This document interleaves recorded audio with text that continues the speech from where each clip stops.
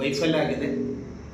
ಈ ಕಾಂಗ್ರೆಸ್ ಸರ್ಕಾರ ಮೊನ್ನೆ ನೇಹಾ ಹಿರೇಮಠ ಅವರು ಅವಳನ್ನು ಬರಬರವಾಗಿ ಹತ್ಯೆ ಮಾಡಿದ ಇನ್ನು ಆ ಘಟನೆ ಮಾಸುವ ಮೊದಲೇ ಇನ್ನು ನಿನ್ನೆ ಮೊನ್ನೆ ತಾನೇ ಅಂಜಲಿ ಅಂಬಿಗೇರ ಅಂತ ಹೇಳಿ ಹಾಡು ಹಗಲೇ ಮುಂಜಾನೆ ಹೊತ್ತಿನಲ್ಲಿ ಅವಳಿಗೆ ಮನೆಗೆ ಬಂದು ಮೂರ್ನಾಲ್ಕು ಹುಡುಗರು ಅವಳನ್ನು ಬರಬರವಾಗಿ ಹತ್ಯೆಗೈದಿದ್ದಾರೆ.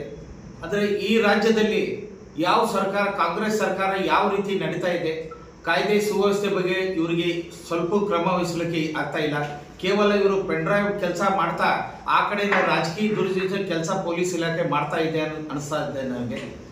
ಯಾಕಂದರೆ ನಾನು ಈ ಪಕ್ಷದ ಪರ ಖಂಡನೆ ಮಾಡ್ತೀನಿ.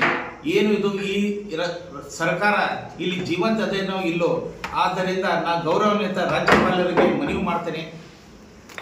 ಗೃಹ ಮಂತ್ರಿಗಳಿಗೆ ಅವರ ರಾಜೀನಾಮೆಯನ್ನು ತೆಗೆದುಕೊಳ್ಳಬೇಕು ಮತ್ತು ರಾಜ್ಯ ಸರ್ಕಾರಕ್ಕೆ ಚೀಮಾರಿ ಹಾಕಿ.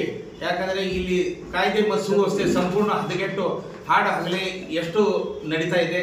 ನೋಡಿ ಬೆಳಗಾವಿ ಜಿಲ್ಲೆಯಲ್ಲಿ ಬೆತ್ತಲೆಯಾಗಿ ಹಿಂದೆ ಮೂರು ತಿಂಗಳ, ನಾಲ್ಕು ತಿಂಗಳ ಹಿಂದಗಡೆ ಆದ ಘಟನೆ ಇನ್ನೂ ಅದೇ ರೀತಿ ಇದೆ ಅದರ ಬಗ್ಗೆ ಕ್ರಮವನ್ನು ಇನ್ನೂ ತನಕ ತನಿಖೆ ಸರಿಯಾಗಿ ನಡೆದಿಲ್ಲ.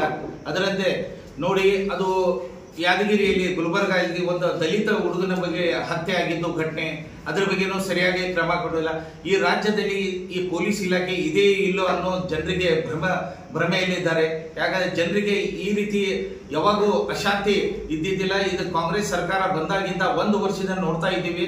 ಈ ರಾಜ್ಯದಲ್ಲಿ ಇಂಥ ಘಟನೆಗಳು ಮತ್ತೆ ಪ್ರತಿ ಸಲ ಹಾಡು ಹಗಲಿ ನಡೀತಾ ಇದ್ದಾವೆ. ಇದಕ್ಕೆ ರಾಜ್ಯ ಸರ್ಕಾರ ಕೂಡಲೇ ಕ್ರಮ ಕೈಗೊಳ್ಳಬೇಕು ಮತ್ತು ರಾಜ್ಯಪಾಲರು ಇದರ ಬಗ್ಗೆ ಗೃಹ ಮಂತ್ರಿಗಳಾದ ರಾಜೀನಾಮೆ ಕೊಡಬೇಕಂತ ಹೇಳಿ ನಾನು ಭಾರತೀಯ ಜನತಾ ಪಾರ್ಟಿ ಚಿಕ್ಕೋಡಿ ಜಿಲ್ಲೆಯಿಂದ ಸಂಪೂರ್ಣವಾಗಿ ಕಾರ್ಯಕರ್ತರಿಂದ, ಪಕ್ಷದ ಪರವಾಗಿ ನಾನು ಖಂಡನೆಯನ್ನು ಖಂಡಿಸುತ್ತೇನೆ.